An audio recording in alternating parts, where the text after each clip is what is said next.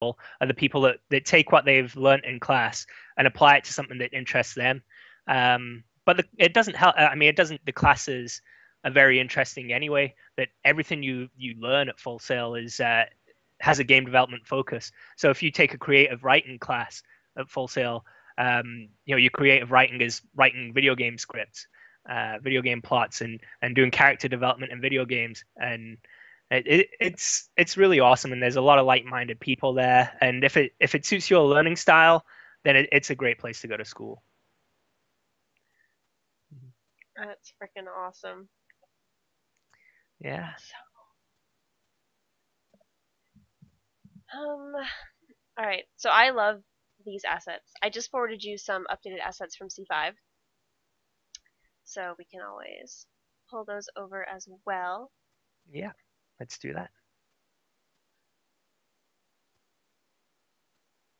And the the fruit, by the way, in the Bioshock Infinite um, artwork that you're seeing here on on the screen, um, the fruit is actually the murder of crows symbol from the game. It's a little tough to see because it is only 15 by 15 pixels, but but I still totally appreciate it. It looks awesome. So I'm just uh, moving C5 stuff in there.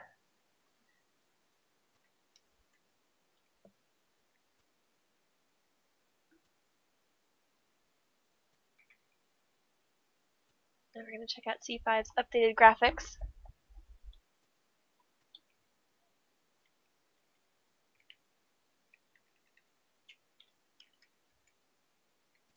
And again, let us know if you guys want to see something here that um, that we haven't done yet. We've done a couple of things. We've had people create obstacles in the game. We've had the snake get faster and faster, uh, just incrementally on its own, or every time it eats a, a fruit, it'll get faster. Things like that. Um, we've had fruit only appear in corners, which is very evil. oh, and there we go. Look at the new uh, the new border. I like it. Yeah. That looks so neat.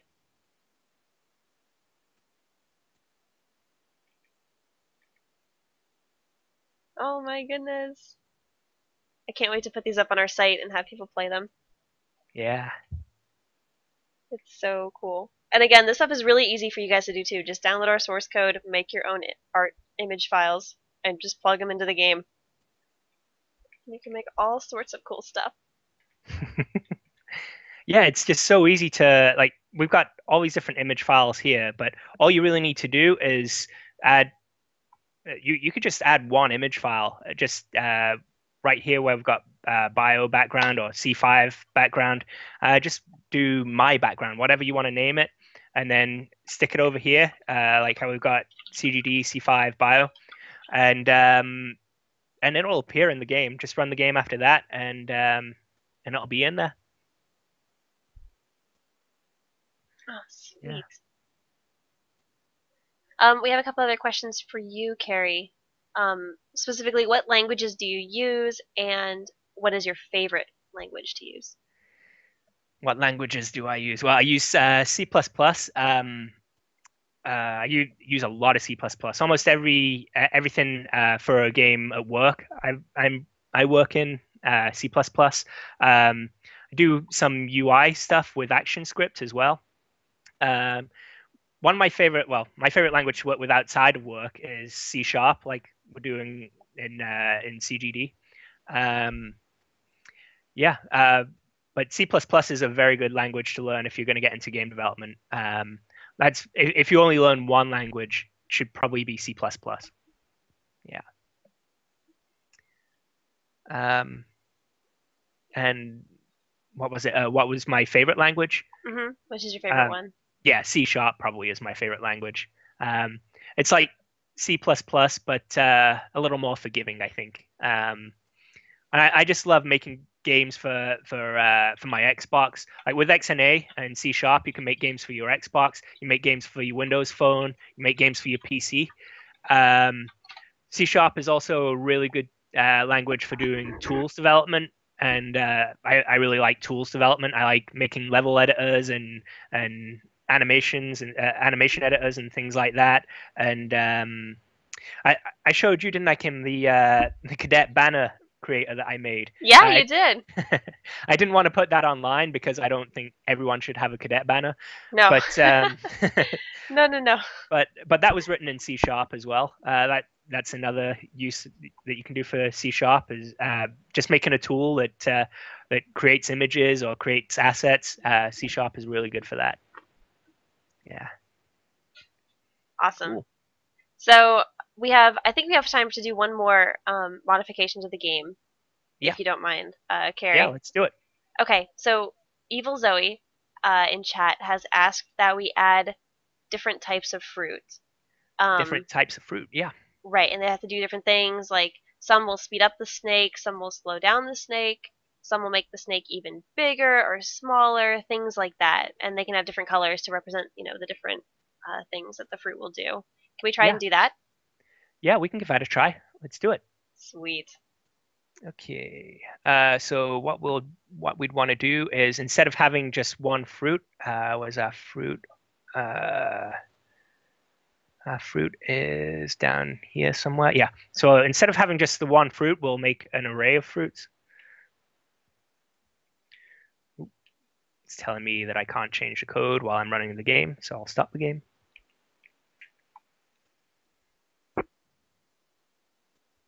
Uh, before we do this, let's rename it to locations. Makes more sense that way. And we'll make this an array. And then pretty much everywhere we use this, we've got to make some changes now. Um, okay, so yeah, this is where we're drawing the fruit. Um, uh, it's less than. Um, I- I'll start out just drawing mul- multiple fruits, and then we'll we'll have them have different properties. They'll they'll have different effects uh, on the uh, on the snake. But we'll start out just drawing multiple fruits. Eyes less than fruit locations length.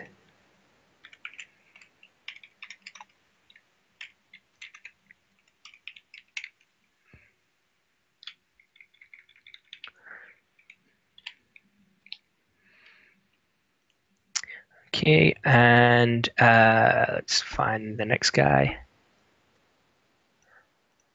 So uh, we do the collect fruit here. So um, we want to check see if you've collected any fruit.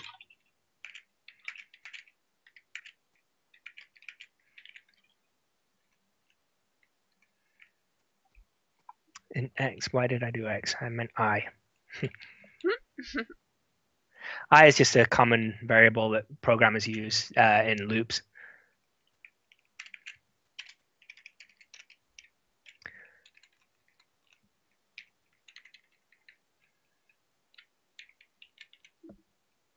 Sub i dot x and fruit location is sub i dot y. Then collect the fruit. Okay, so placing new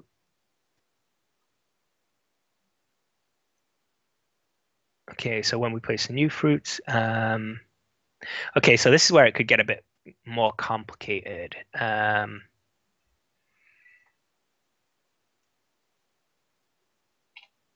okay, what we'll do is um, instead of uh, doing our test on fruit locations, um, we'll make up a, a new variable.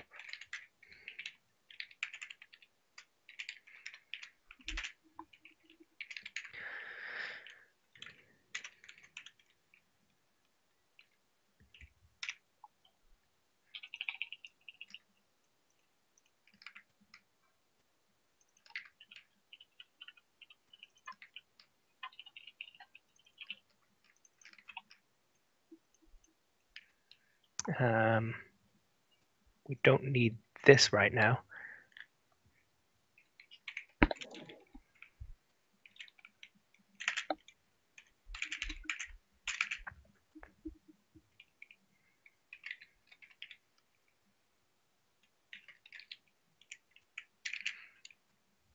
Seems like you're adding a whole lot of code to this.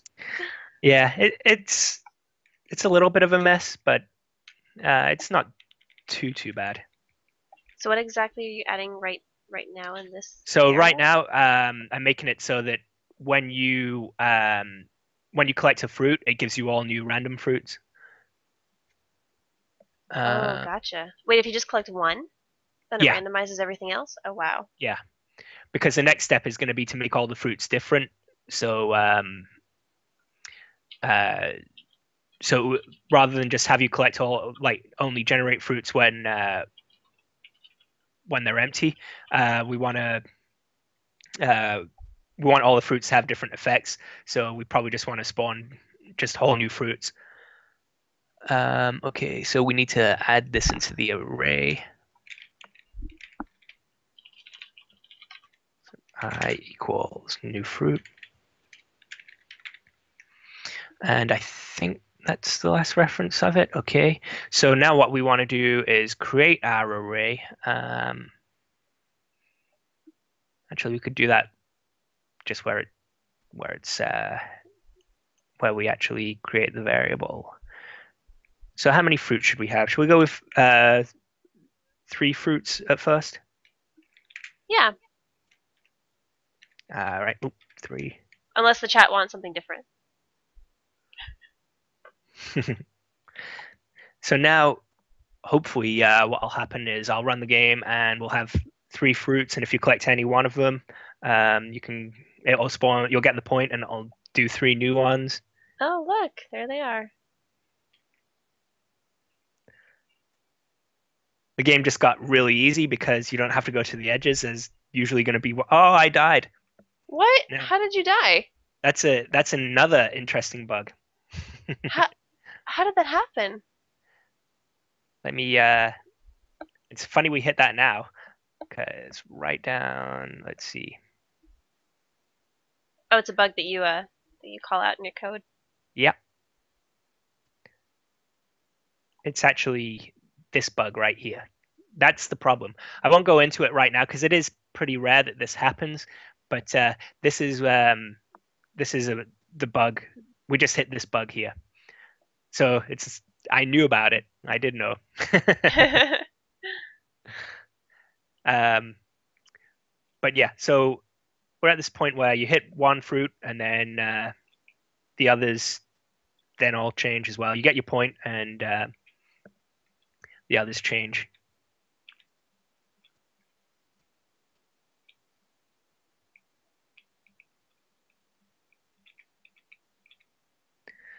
So now what we can do is we can change our collection function to do different things. Inside our collect fruit, um, let's change this to take an int.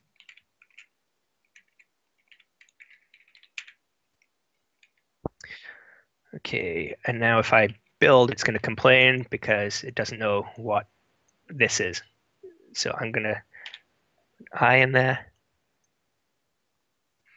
And now it should know what that is. Okay, so when we collect a fruit, we'll um, we'll pass in, we'll, we'll let it know what fruit we collected. Uh, what I'm going to do over in the CGD fruit, if I open this guy up, it's just a green rectangle. I'm going to change it to a white rectangle.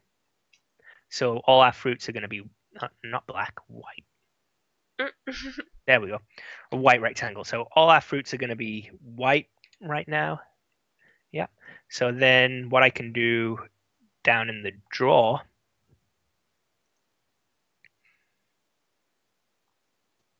Where's our draw?